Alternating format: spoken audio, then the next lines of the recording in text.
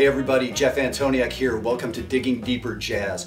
Well, today we're going to take a break from the last 75 videos we've done. These videos are always for all instruments. This should be applicable to any instrument from drums to guitar to trombone to saxophone. Today, I've had so, so many requests from sax players to talk a bit about equipment and a bit about saxophone tone. So we're going to do that, two-parter. I want everybody though to hang out, whether you're a drummer or a guitar player. I want you to hang out for the first part of this discussion because we are going to talk about tone and we're going to do it in an interesting sort of historical perspective way that I think might be a little informative. So uh, we'll dig in that way. Okay, well, so let's talk about this tone stuff. I actually was at the Jazz Educators Network convention, did some presenting there, and I was at the saxophone, the International Saxophone Symposium. This is to be geeky, right? Like there is such a thing, International Saxophone Symposium. And they asked me to do a workshop on jazz, and I decided to talk about jazz tone a little bit, the sound of our jazz saxophone. Now this was an interesting presentation to plan for, uh, interesting meaning hard, in a couple ways. One, there were students all the way from middle school and high school, up through college students, up through adult semi-pros and amateurs, like so many of you out there, up through like full-on professional players. So a wide range of ability. Now here's the other thing. There were also a lot of classical players in the room and a lot of jazz players. There's about 100 people there. So um, radically different styles, radically different levels. So I wanted to talk about something that maybe was useful for everybody. And so I'd be happy actually to send you the little handout that I gave at the symposium. If you're interested, I'll put it up on the uh, on the screen right now. But uh, if, if, you're interested, just send me an email, diggingdeeperjazz at gmail.com, and I'll send it off to you. So I tell you what, here is the approach that I took. Um, I've heard it explained this way, a great jazz saxophone sound, and this is the best way I can think to explain it, is we want to go for a subtone. Now I know there's non-sax players listening, just hang with me on this. A subtone is uh, sort of a stylistic style of, uh, of tone that we hear sometimes.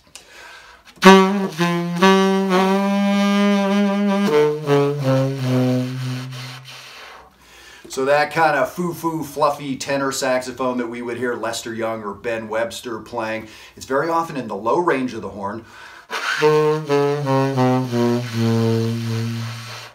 And it's usually played softer. Uh, maybe that's the sub part of subtone. We see this written on big band charts. Subtone. So when, once you get to be a pretty decent player, you figure out how to do that subtone sound. Now, here's the way I want to think about it. I want to think about it like we want to get that subtone sound in all registers at all volumes. So I've heard this said before, and that kind of confused me when I heard it. How do you play something that's by definition low? How, how does that sound when you play it high? Or something that's by definition soft, playing it loud? So I had to think that through, a subtone. That airy kind of sound.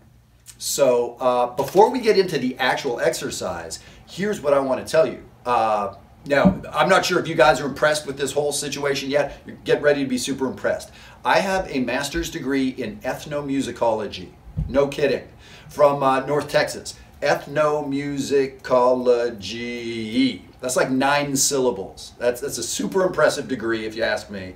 Um, so ethnomusicology is studying music from other cultures. So one thing I remember learning, I studied a lot of West African music, and I actually lived in Nigeria as a little kid. I lived in Benin City in Nigeria in third and fourth grade. So the African aesthetic of sound is different than the European aesthetic of sound. A classical saxophone player, a classical flute player, a classical uh, trumpet player are going for this sort of pure sound, right? That pure classical sound. A classical singer, that purity of sound. Now in jazz and rock, it's actually quite different. And this comes from West Africa, right? Because that is the roots of gospel and funk and R&B and country and rock and jazz and blues is this West African uh, sound, right? And so the sounds in West Africa, a pure sound is actually not a beautiful sound. So uh, in Africa, uh, marimbas and xylophones, they were invented in Africa. They would be these logs put over a hole in the ground and you would tune them and play them as a melodic instrument. Well, so guess what? They would put these dried, hard spider's nests, of all things, that had a rattle to them. They would put those in the ground so that when you hit the bar, it, there would be a rattle to it right? Or uh, I remember in the 70s living in Africa seeing instruments, string instruments, or a kora, some of those cool West African instruments with bottle caps put in the side, partly for visual decoration, but partly because they would jingle, right? A kalimba very often has some rattles on it. So this idea that the sound should not be pure.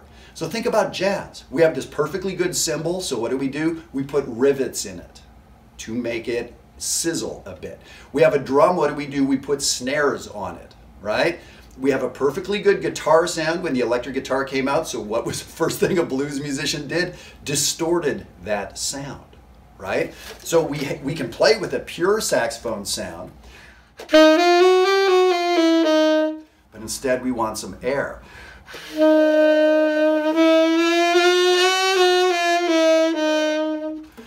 Want to bend the sound and we want to get some harmonics and some buzz and all that kind of stuff. So that's what this is all about that aesthetic of do we want a pure sound or do we want a little something else going on in the sound?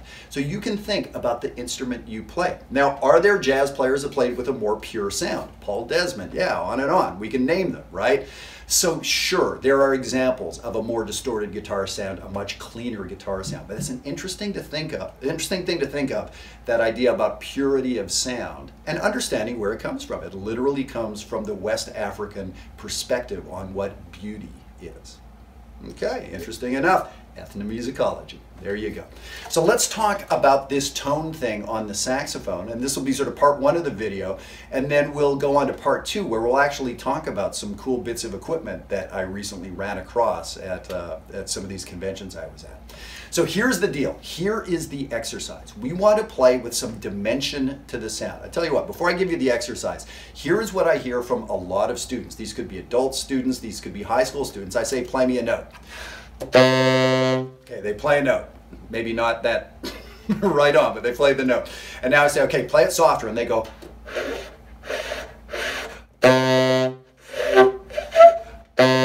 So it's like a light switch. It's on or off. So there's a lack of control there, right?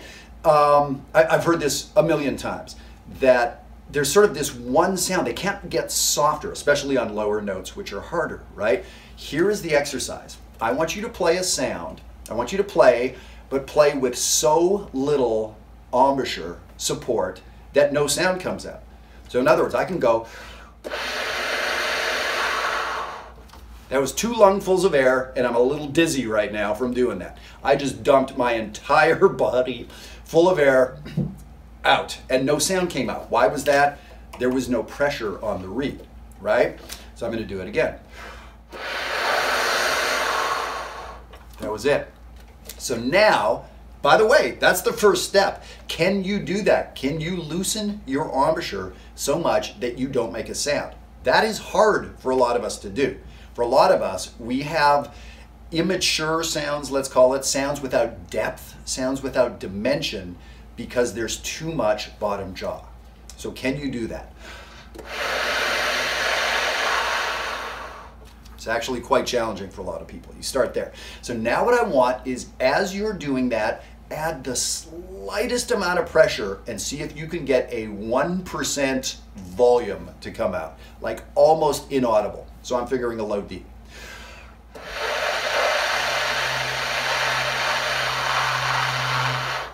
Could you hear that in there? There was way more air than there was that sound, but it was there. Let me do a bit more.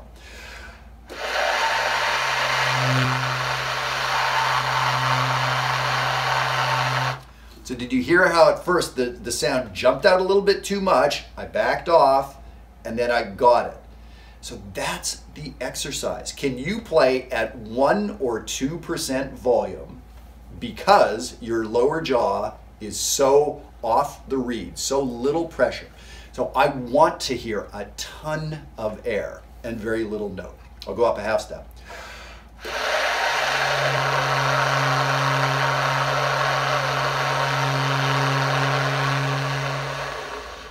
That was two lungs full of air. I didn't last very long. And again, I'm a little bit dizzy from doing this. So that is the exercise. It is so dang hard. It, it, took me a good week or two as a professional musician when I was first showed how to do this. It's a big deal.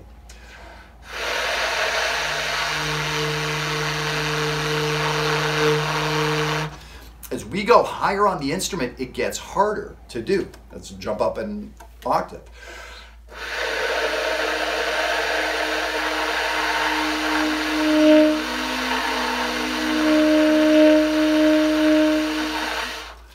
So you heard that trying to balance that note.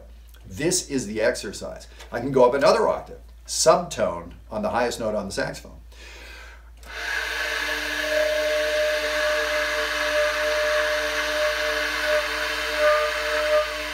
It never occurred to me until a couple of years ago that that was even possible or why you'd want to do it. Why do you want to do this? The idea is first of all going back to that West African aesthetic, we're learning how to get some dimension in our sound. Now there are people who play with a very bright modern sound. Dave Sanborn comes to mind. He essentially invented that sort of style of sax playing. Or uh, oh, why am I spacing out on his name from Tower Power and Saturday Night Live? Well, as soon as I quit thinking about it, I'll get it. Um, great modern players, but who have depth and dimension to their sound. When I hear a lot of players playing with uh, sort of a brighter, more modern tone, it's again, it sounds like a light switch. Their sound is on and off. There's no bottom to it. There's no depth. I feel like I'm getting sort of hit with a plate of glass. It's this two-dimensional feeling I get. Whereas when I hear a mature, what I what I like for a saxophone sound, it's enveloping me. I feel like I can walk into it and look around the tone. There might we might call it air, we might call it harmonics, there's a buzz, etc., etc. Very different than a classical tone. One is not better or worse, they're different. This is how we develop a mature classic saxophone sound. So I'm talking about 50s, Blue Note, Dexter Gordon, John Coltrane kind of saxophone sound.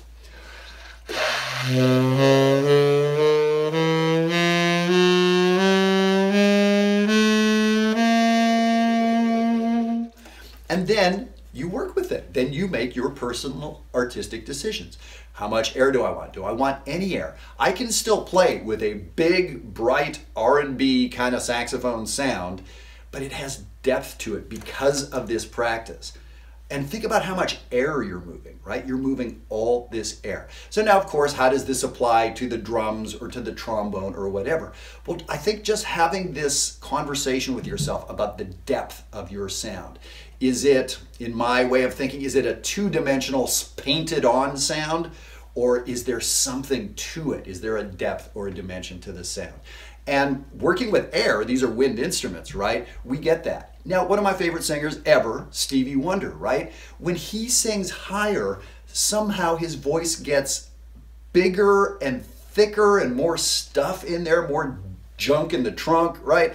It's crazy. When you, you know, as my voice goes higher, it gets thinner. I'm not a trained singer, of course, but it gets thinner and you know, shrill, right? So yet when he sings higher, it gets bigger and deeper in something, right? That's what I'm talking about. Stevie Wonder knows what this is, right? So when you listen to a great singer like that. Okay, so that's what I wanted to talk about with tone, relating it to this West African idea of beauty and um, and giving us sax players a way to uh, proceed from air. So the exercise is air not embouchure. You're, you're moving air through the horn, not controlling the horn with embouchure. This may relate for a trombone player or for a uh, trumpet player or for a flute, flute player who's wanting to play jazz and see what they can do to kind of beef up their sound a little bit. Interesting stuff to mess with. So I tell you what, part two of the video right away, we'll uh, jump into some interesting equipment that I uh, recently came across. And again, if you're interested in this handout, I'd love to send it to you. Just write me at diggingdeeperjazz at gmail.com. Back in a second.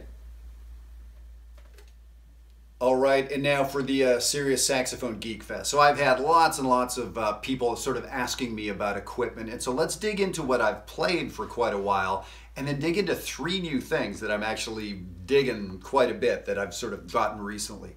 So uh, I played a Selmer Mark VI for decades and decades, and about three years ago, I think literally three years ago this week, I started playing an Eastman 52nd Street. And it's an incredible horn. I've been endorsing their instruments uh, for a while. At the Saxophone Symposium, I was working with Roger Greenberg there, and at the JEN Conference, I was able to hang out with Bob Mintzer and Ralph Torres, guys who, you know, play this instrument and, you know, help develop it. So it's a great horn. And, um, and for the longest, well, really for 30 years, I've been playing, let me adjust my reed here. For 30 years, I've been playing uh, Otto Link mouthpieces. And then um, I ended up getting a Ted Klum focus tone, which is what this is. Which is very much Link-like. It's a fantastic uh, mouthpiece that Ted made. And uh, so essentially I've been playing links for 30 years. You could, you know, links or link style mouthpieces. So that's it. And by link, I mean Otto Link. All right, cool. So um, I got hooked up, uh, D'Addario Music and Kristen were very, very kind to hook me up with a uh, mouthpiece that they're making now called uh, the Select Jazz. And this is a D8 M. The 8 is the size of the mouthpiece. D'Addario Select Jazz. Now this is based on my friend Jeff Coffin's mouthpiece. Jeff has been playing a mouthpiece made by Freddie Gregory, great mouthpiece maker. Uh, and this mouthpiece was made a long time ago. It's what Jeff's played for a long time. Jeff worked with D'Addario to come up with essentially a copy of his mouthpiece that you can't get anymore. So uh, the, the Select Jazz tenor mouthpiece is based on Jeff Coffin's Freddie Gregory. And it's actually what Jeff is playing now. I was hanging out with him last week, and um, he's not playing his Freddie Gregory anymore. He's literally playing one of these things. So I'll play it for you in just a little bit. Um, but it was, it's, it's a cool mouthpiece. It's very different than mine. Uh, I'm not sure that I'm used to it yet. I've been sort of playing it on and off for a week. And, you know, I'm not going to have these digging deeper videos turn into product reviews because that's not what I want to do. That's not what I'm good at. It's not why you're here. But enough people have asked, I wanted to talk about it. So let me play, let me go back and forth between the Ted Klum and the new Select Jazz. The Ted Klum is like super duper expensive. Like I don't recall, I don't want to get it wrong, but like a lot, a lot, a lot a lot of money and well worth it.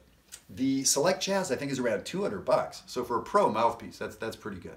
So here's uh, the Ted Klum that I usually play.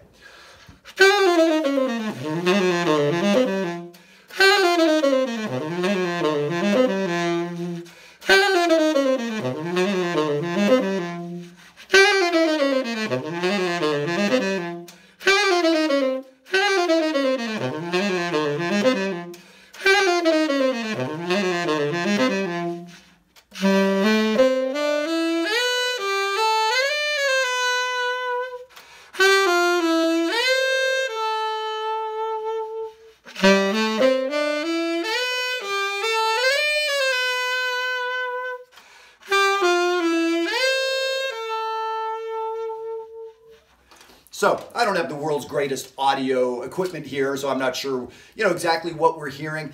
To me, this one, um, it, I feel like I can get louder with it.